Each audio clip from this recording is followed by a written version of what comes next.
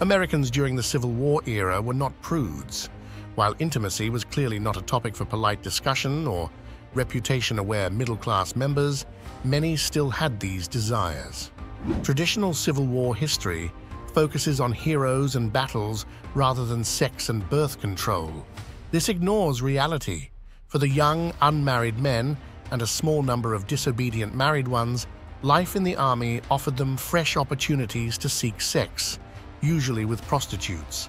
For the first time, many farmers and uneducated workers could live outside of strict parental and religious restraints.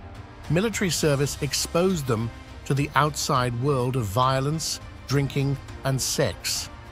At the camp, barracks favorites were offered. These were affordable sexual novels. Nudity photos were also available, and both enlisted men and officers purchased them. These 12 by 15 inch photographs cost $1.20 for a dozen or 10 cents per picture. These were mainly images of naked women doing innocent things. Naked ladies participating in true sex activities were usually black or Indian, not white.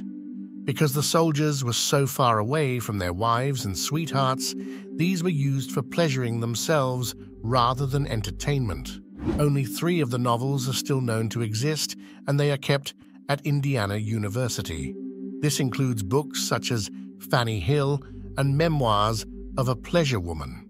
Fanny Hill first published in England in 1748, represents the story of an innocent country girl who is lured into prostitution. The book reads like a list of naughty behaviors, such as same-sex acts, public sex, and flagellation, which was popular at the time. In a letter to the newspaper, an unnamed soldier raised concerns, characterizing men as reading flimsy publications, obscene books, and the worst species of yellow-covered literature. Pornography only became a problem for commanding officers when men were not actively involved in campaigns. The demands of campaigning pushed the soldiers to be disciplined, giving no time to consider what they were reading or carrying in their haversacks. However, this doesn't mean that females were unavailable for sex. Prostitutes were among the camp followers who accompanied the marching troops. According to popular legend, they were so common in the Army of the Potomac under Union Commander Joseph Hooker's command that the term hooker was developed to call them, even though the phrase had been in use since 1845. Soldiers were separated from their families' protecting influence, while men were separated from their wives' loving embrace for months, if not years. Even the most devoted husbands may struggle with this. For example, Samuel Cormany, who was happily married, cheated on his wife Rachel while serving in the 16th Pennsylvania Infantry.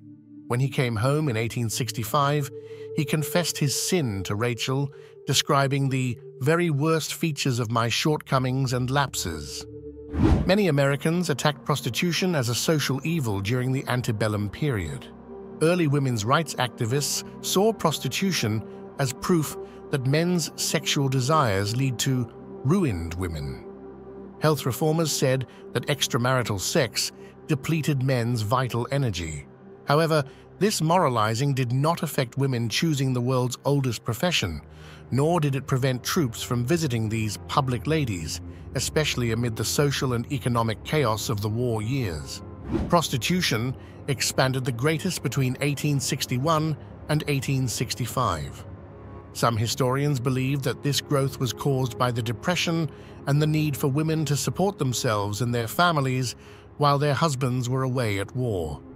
Other historians believed that the rise in prostitution was caused by women's desire to pass on genital illness to enemy troops. Following the start of war, the number of brothels increased dramatically. In 1864, there were 450 brothels in Washington and more than 75 in nearby Alexandria, Virginia. There were 5,000 public ladies in the district and another 2,500 in Alexandria and Georgetown. Prostitution was especially common in the towns surrounding the camps. When soldiers established camps nearby, the sex trade took over these little towns. One soldier wrote home to his wife, It is said that one house in every ten is a filthy house, it is a perfect Sodom. Tennessee was the most known prostitute hotspot. Smoky Row, in what is now downtown Nashville, evolved from an awkward city secret to a bustling red light district with over 1,500 prostitutes. Many of the ladies were Southerners who turned to sex work to support themselves when their male family members went to war. Benton E. Dubs, a Union private, wrote, There was an old saying that no man could be a soldier unless he had passed through Smoky Row. The street was roughly three fourths of a mile long, and every house or shack on both sides was a house of bad fame. Women have little regard for clothing or morality. They claim that Smoky Row killed more soldiers than the war itself. Venereal disease, notably gonorrhea and syphilis, was an inevitable consequence of paid and mostly unprotected sex during the Civil War. Confederate soldier J.M. Jordan, for example, wrote home to his wife in 1864 that while the health of his regiment was good, they were dealing with a certain type of disease. I feel a delicacy in spelling them out to you because you are a female person, but I reckon you can't blush little things these days. I've contracted pox and clap. The surgeons treated nearly 73,000 Union white troops for syphilis and more than 109,000 for gonorrhea. The frequency of these diseases among African American soldiers was less than half that of white troops. In the eyes of military command, prostitutes and camp followers drove venereal disease to dangerous levels, endangering military readiness. Confederate General A.P. Hill is thought to have contracted gonorrhea while at West Point and suffered from it until his death in the final weeks of the war. Other ladies' men, such as Hugh Judson Kilpatrick, George Armstrong Custer, and Jeb Stuart, are thought to have had some sort of venereal disease. So, in July 1863, Union Provost Marshal George Spaulding started rounding up prostitutes and forcing them to board the USS Idaho. However, after the ship was denied safe harbor in Louisville, Cincinnati, and every other port it tried to enter, it returned to Nashville, damaged by the women who had been living there in horrible conditions. The Union Army would have to try a different method. The women's failed journey north aboard the Idaho, a rented boat forever known as the Floating Whorehouse, marked the beginning of a bizarre time in the city's history. Spaulding began a broad campaign against sexually transmitted diseases in August 1863. He directed the construction of a hospital for prostitutes with sexual diseases. Prostitutes had to register for a license to carry out their trade. Part of their earnings were going to the hospital. Prostitutes were required to go through frequent health inspections and be admitted to the hospital if they got an illness. In addition, the city constructed a separate hospital for syphilitic soldiers. The plan was a success. Not only did the number of soldiers stationed in Nashville with sexually transmitted illnesses decreased, but hundreds of prostitutes applied for permits. The city's reputation for vulgar, bluntly dressed prostitutes gave place to cleanliness and propriety. Quick fun fact in the 1860s, condoms were produced from animal skin and rubber and were sometimes referred to as preventatives or French letters. Previously, condoms were produced from animal intestines, typically from sheep, calves, or goats. The condoms were held in place by a string looped around the base of the genitalia. Some soldiers committed acts of rape. The Confederate records were destroyed, but an examination of only 5% of federal documents reveals that over 30 court-martial trials were held for rape. The typical punishment for such crime was hanging or firing squad. Offering money to a white lady in good standing for sex was considered almost as rape itself.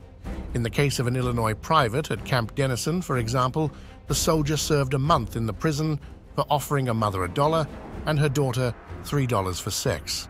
While invading the southern states, federal troops committed rape on more black women than white ones.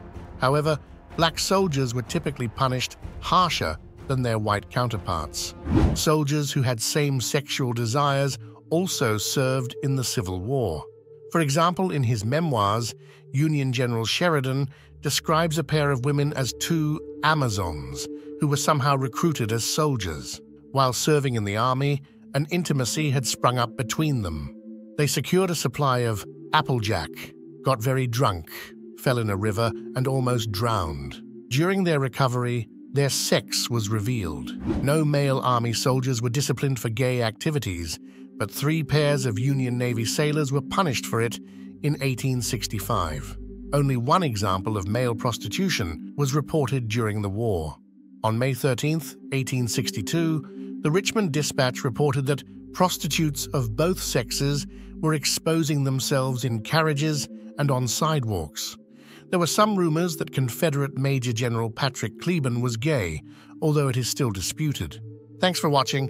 Subscribe and press likes.